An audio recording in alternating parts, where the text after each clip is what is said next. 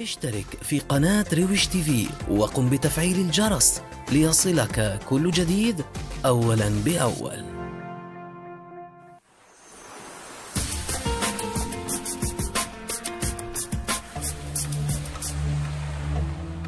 شيئان سيلحقان بك الأذى بالاستناد إلى برجك.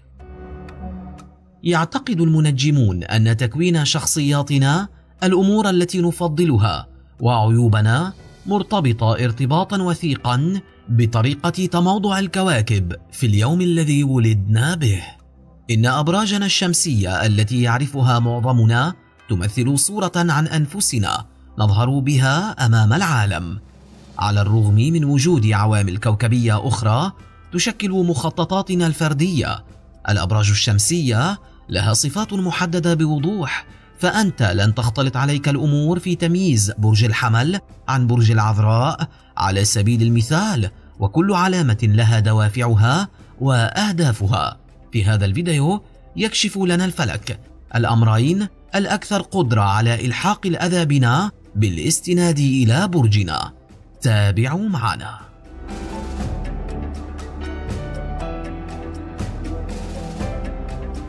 برج الحمل. الأمر الأول كبح الاندفاع. برج الحمل يحتل الترتيب الأول بين علامات الأبراج ولذلك فهم لديهم حب القيادة بالفطرة. مواليد هذا البرج يميلون إلى زج أنفسهم في مواقف بدون التفكير بالعواقب الشيء الذي يمكن أن يوقعهم في المتاعب. لكن المحاولات لكبح اندفاعهم هي مثل المحاولات لإخبار الشمس بألا ترتفع إلى كبد السماء. مواليد هذا البرج سوف يرفضون القيام بأي عمل إذا ما طلب منهم فعله بالطريقة السهلة. الأمر الثاني الكذب. إن مواليد برج الحمل بسيطون وصادقون ويريدون من الجميع أن يتعاملوا معهم بنفس الطريقة.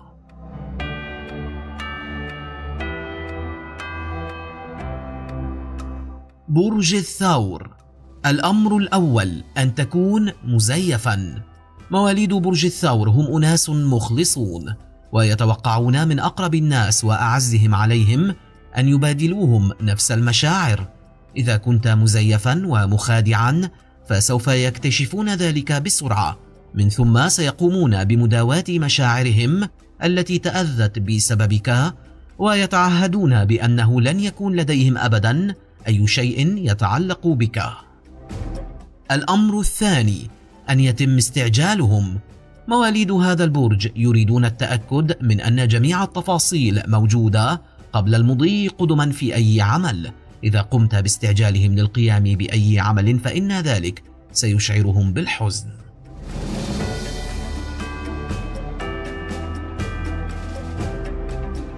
برج الجوزاء الأمر الأول إهانة ذكائهم. مواليد برج الجوزاء هم الأكثر ذكاء بين الأبراج وهم يعلمون ذلك. عندما يقول شخص ما في حقهم أي شيء خلافا لذلك أو حتى يستخدم أحد ما عبارة هذا شخص غبي سيكون تأثير ذلك عليهم كتأثير وضع الملح في جرح مفتوح.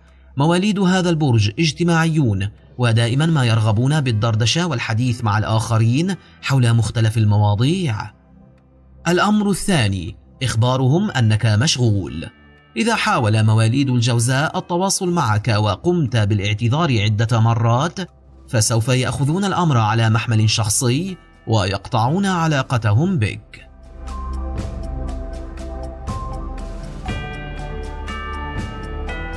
برج السرطان الأمر الأول رفض نصائحهم. مواليد هذا البرج يحبون تقديم العون والرعاية لباقي الأبراج وأكثر ما يحبون فعله هو مساعدة أحبائهم في حل مشاكلهم من أكبرها حتى الأبسط منها. الأمر الثاني إخبارهم أنك لست بحاجة لهم. يحب مواليد هذا البرج أن يشعروا بحاجتك الدائمة لهم، فهم أناس محبون للآخرين ويشعرون بالأمان في وسطهم الاجتماعي. في بعض الأحيان يحتاج مواليد برج السرطان للإحساس باهتمامك بهم كي يشعروا بالطمأنينة. وعليه فإن إبعادهم عنك سوف يشكل لهم جرحا عميقا يصعب شفاؤه.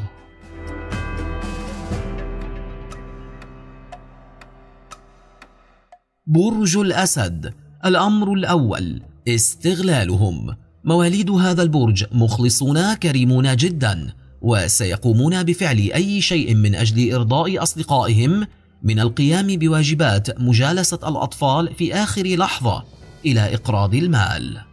الأمر الثاني تجاهلهم إن مواليد برج الأسد لديهم حب فطري للظهور، هذا يعني أنهم دائما يحبون أن يلعبوا دور البطولة في حياة جميع أفراد عائلتهم. إذا ما تم تجاهل مواليد هذا البرج فإنه سيشعر بضيق وحزن كبيرين. إذا لم ترد على رسائلهم النصية سيبقون مستيقظين طوال الليل يتساءلون عن السبب.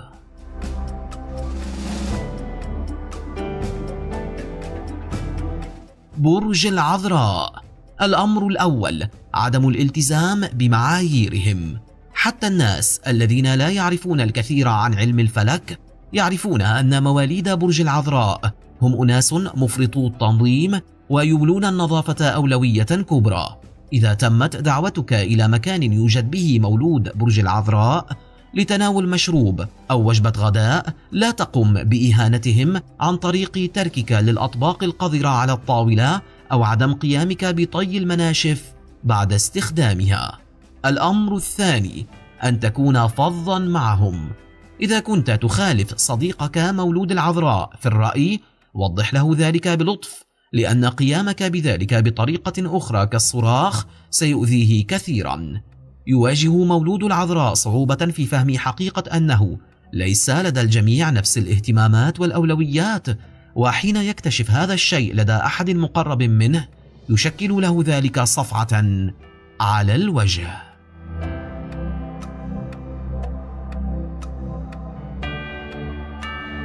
برج الميزان. الأمر الأول عدم الإنصاف. كما هو متوقع من برج سمي تيمنا برمز العدالة. لا يستطيع مولود برج الميزان تحمل أي نوع من المعاملة غير العادلة. يتوافق مواليد برج الميزان مع الجميع تقريبا ويرغبون من أحبائهم أن يتعايشوا معهم أيضا. الأمر الثاني كره أصدقائه. حين تقول لمولود الميزان أنك لم تحب أصدقائه فذلك أمر محزن جدا بالنسبة له كأنك تخبره بأنك لا تحبه.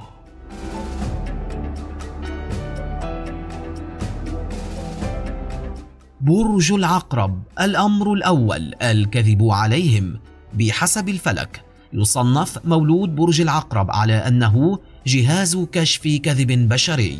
لا يكتفي مواليد هذا البرج بإخبارك بأنك تحاول الكذب عليهم بل من المستبعد أن يسامحوك على فعلتك خلال وقت قريب. لا أحد يحمل الضغينة كما يفعل مواليد العقرب. الأمر الثاني كشف أسرارهم. يحب مولود العقرب أن يحفظ ويكتم الأسرار كما يحب أن تكتم أسراره.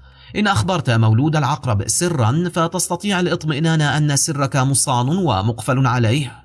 لكن إن أفشيت سرا أخبرك به مولود العقرب ولو قليلا فتستطيع أن تودع العلاقة فيما بينكما.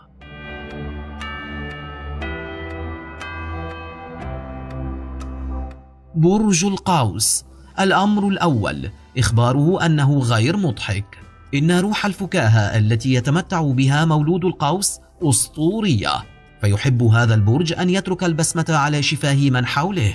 إذا أخبرت مولود القوس أنه غير مضحك بل أسوأ من ذلك أنه ممل ستكون بالنسبة له كطعنة في القلب. الأمر الثاني عدم تقديم الهدايا له.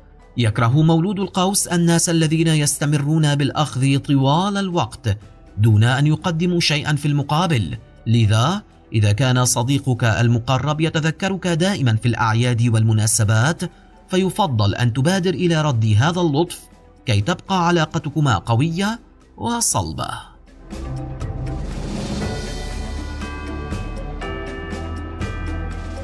برج الجدي الأمر الأول نبذه. لا يشعر مولود برج الجدي بالإهانة بسهولة. لكن أحد الأشياء القليلة التي يمكن أن تؤثر به جدا هي أن يتم نبذه أو تجنبه من قبل شخص عزيز جدا عليه لذلك إن فكرت بقطع علاقتك بمولود الجدي فكر مليا لأن ذلك عنده يعني قطعها إلى الأبد بدون أي احتمال للعودة. الأمر الثاني الطعن في الظهر الطريقة الأخرى المؤكدة لإهانة مولود الجدي وإزعاجه هي خداعه. إذا كان لديك زميل من مواليد الجدي في العمل فلا تحاول تحقيق مكاسب عن طريق الوشاية به إلا إذا كنت تريده عدوا مدى الحياة.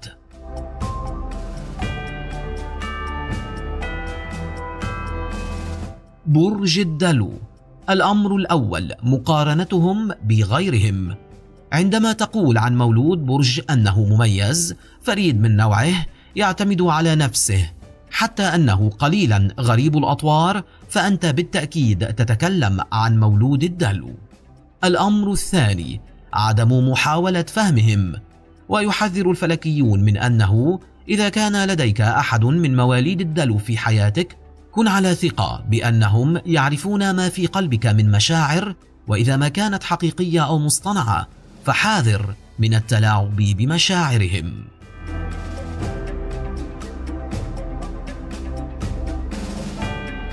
برج الحوت. الأمر الأول انتقاد أعمالهم. يعشق مولود الحوت الجمال والإبداع. لذلك إذا سألك مولود الحوت عن رأيك في عمل من أعماله سواء إن كان لوحة أو رواية اختر كلماتك بعناية. لأن مولود هذا البرج يشعر بالعدائية إذا انتقدت أعماله بطريقة فظة. الأمر الثاني إخبارهم أنهم عاطفيون. يشعر مولود الحوت بالأشياء بعمق فهم أول من يلاحظ إذا ما كنت تمر بيوم سيء. إن إخبارك لمولود الحوت بأنه عاطفي أو مزاجي أو انتقاد أسلوب حياته يجعله ينفر منك بسرعة.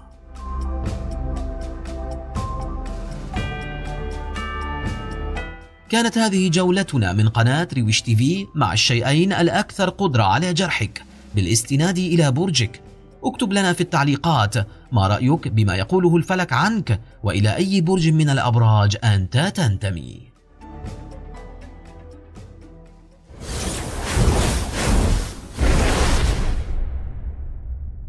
اكتب لنا في التعليقات رأيك بما شاهدت للتو.